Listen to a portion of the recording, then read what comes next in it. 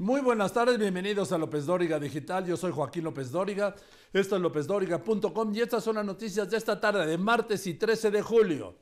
Por falta de acuerdos en la comisión permanente, no habrá periodo extraordinario para retirar el fuero a los diputados Mauricio Toledo del PT, acusado de enriquecimiento ilícito, además diputado reelecto, y Saúl Huerta, ex de Morena, acusado de violación y abuso de menores.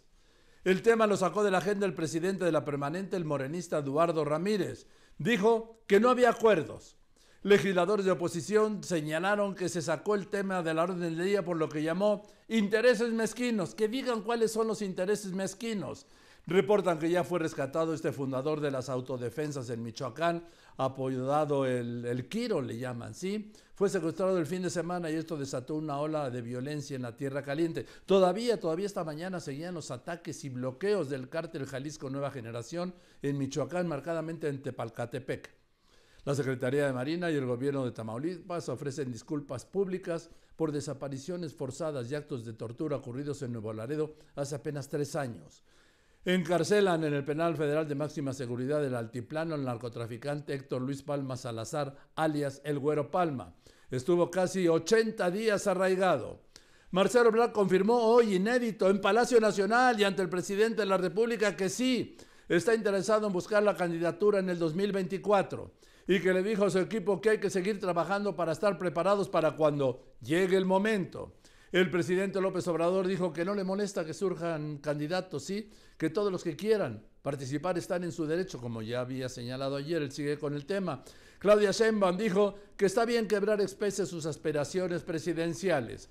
La secretaria de Gobernación, Olga Sánchez Cordero, dijo que no buscará la candidatura presidencial en el 24.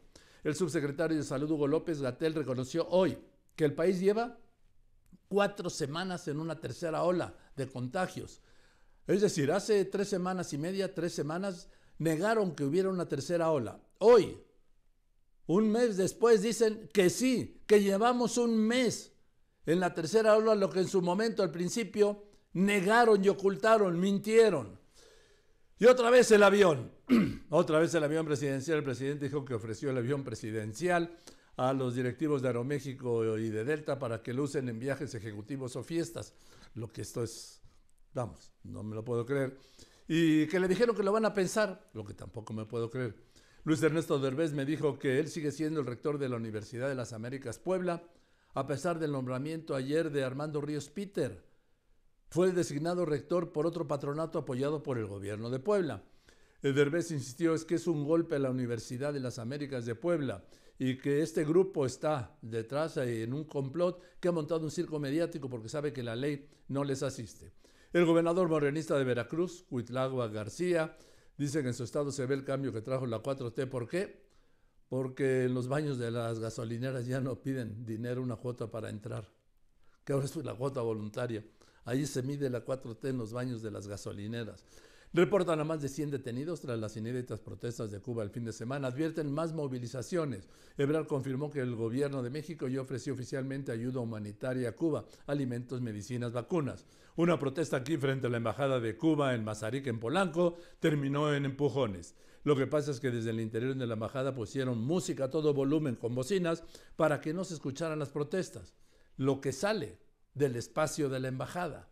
En este momento el dólar interbancario se está cotizando en el mundo en 20 pesos con 6 centavos. Aquí en Ventanillas, por eso en México a esta hora se vende un dólar en 20 pesos con 41 centavos. Yo soy Joaquín López Dóriga, este es lópezdóriga.com y usted está informado. Gracias.